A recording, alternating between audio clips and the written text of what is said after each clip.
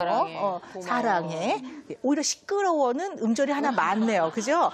근데 사실 3음절만 하면 돼요. 그러면 그 마음을 좀 전달하면 피로는 다 풀려요, 사실은요. 음. 우리가 사랑하는 부부 사이에서 50대 50이 어디 있습니까? 내가 오늘 설거지 했으니까 당연히 내일은 해. 이거는 아니라고 네. 생각해요. 서로가 배려하는 마음이 제일 중요한데 음. 이 배려하는 마음도 마음 안에만 갖고 있으면 안 돼요. 표현을 해야 상대방한테 네. 잘 전달이 되는데 우리는 남자들이 이제 그런 게 좀 약하죠. 음. 네. 그럼 선생님 말씀대로 진짜 계속 요구를 하는 것이 싸움으로 발전할 수 있는데도 불구하고 그래도 좀 해줘 이렇게 음. 하고 얘기하는 게 맞는 건가요? 그게 낫죠. 음. 왜냐하면 전달 안 하면 잘 모르고 또 남자들이 아까 말씀드렸지만 집에 오면 회로를 딱 끄거든요. 네. 오프를 하니까 오프한 상태에서 뭘 자꾸 얘기를 하면 신- 어, 귀찮고 자기를 이렇게 뭔가 잔소리하고 이렇게 들리긴 하겠지만 그래도 정확하게 어떤 걸 요구하는지 알려주시는 게 맞긴 맞아요. 남자들은요 이렇게 멀티가 잘 안 돼요. 네. 집에 와서 이것도 하면서 저것도 고려하고 이런 게 잘 안 되는데 뇌까지 꺼졌으니까 음. 회로까지. 그래서 말하는 게 맞는데요. 여자들이 요구할 때 꼭 지키셔야 되는 게 있어요. 잊어버리시면 안 되는 게요. 이 요구를 바로 들어주지 않으면 나를 사랑하지 않는다고 생각하시면 안 돼요. 아. 이게 회로가 꺼진 남자가 다시 발동이 걸리려면 시간이 좀 걸리는데 여자들은 요구해서 내가 원하는 방향으로 바로 들어줘야지만 나를 사랑한다고 생각해요. 네. 요구를 빨리 안 들어주면 그다음에 채근을 해요. 음. 그러니까 이 채근이 남자들한테는 잔소리로 들리는 그렇죠. 거죠. 예. 그리고 이러면서 나, 나를 사랑하는구나를 확인하고 싶어 해요. 음. 그래서 확인하는 과정에서 남자가 안 하고 있으면 이제 불안해져요. 아, 이 사람이 날 사랑하지 않는구나. 나를 무시하는구나. 음. 이렇게 생각이 되니까 뭐라고 막 이제 쪼아대요.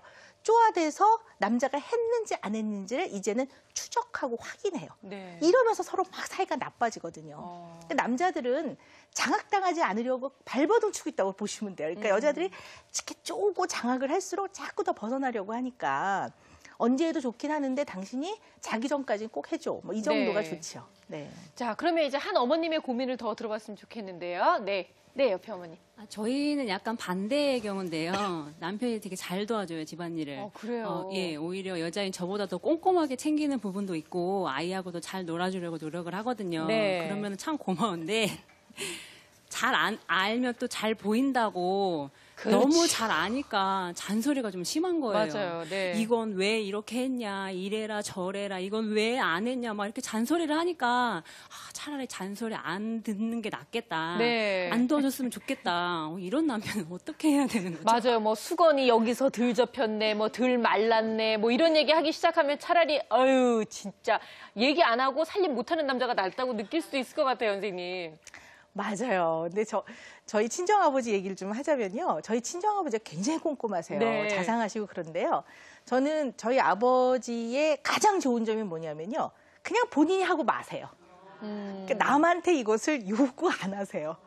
그러니까 예를 들어 참 좋은 성격이시네요, 진짜 정말. 아버님께서. 하여튼 그냥 하루 종일 본인은 고달프시죠. 네. 왜냐하면 이렇게 부지런하게 움직이지 않으면 이제 본인 원하는 대로 안 되시니까 그, 그 대신에 잔소리를 하면서 남한테 그것을 하라고 강요는 안 하세요. 음. 그래서 그분의 그 꼼꼼하고 부지런하고 어, 잘 이렇게 아주 세밀하고 이런 것들이 그냥 장점이 되는 거죠. 네네. 만약에 그것을 요구하면 굉장히 불편하죠. 음. 남편께는 칭찬을 일단 해주세요. 당신이 이렇게 해주는 건 정말 좋은데 네, 당신이 그냥 해주면 우리가 정말 뭐 그 당신의 최고로 정말 써받들어 주겠다 이렇게 어. 좀 해서 이 잔소리가 얼마나 사람한테 그 불편한지에 대해서 음. 얘기를 하되 그거에 대해서 막 뭐라 하시면 남편은 어떤 생각이 드냐면은 나의 선함 음. 그리고 내가 가족을 위해 이렇게 애쓰고 힘들게 하는 거에 대해서 이 진심이 상대편 배우자한테 안 받아들여진다고 생각을 하니까 서운한 거예요. 그럴 수 있죠. 서운해서 더 자꾸 잔소리를 하는 거거든요. 그래서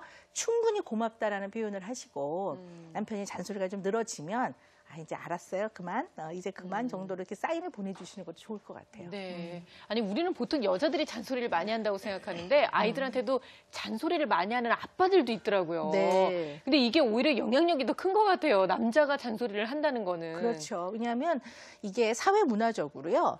그 사회나 세상을 아빠로부터 배우는 것처럼 되어 있어요. 음. 왜냐하면 특히 남자애들 같은 경우에는요, 아빠를 통해서 문제 해결이라든가 세상 돌아가는 걸 배우거든요. 네. 그럼 사실 이제 사춘기 이후에는 아빠가 이렇게 한마디 충고해 주는 게 굉장히 중요한데 너무 잔소리를 평소에 많이 하면은요 아이들이 일단 아빠가 입을 딱 열면 선택적 부주의, 어, 선택적으로 부주의해요. 부주의해져서 딱 막아버려. 아 예, 아 예, 이러고 말아버리거든요. 어. 그러니까 정말 중요한 얘기를 전달할 때 네. 효과가 떨어지겠죠. 어. 그래서 말은 너무 안 해도 문제고 소통을 못 하니까 불필요하게 많이 한다든가 필요한 말이라도 너무 많이 하면 효율이 떨어져요. 네. 정말 적시적소에 딱 필요한 말씀을 하시는 게 맞습니다. 네. 자, 이렇게 아내들의 불만 또 들어봤습니다. 그렇다면 남편분들은 어떤 불만들을 또 마음속에 다 차곡차곡 쌓고 계시는지 저희 얘기를 한번 들어봤습니다.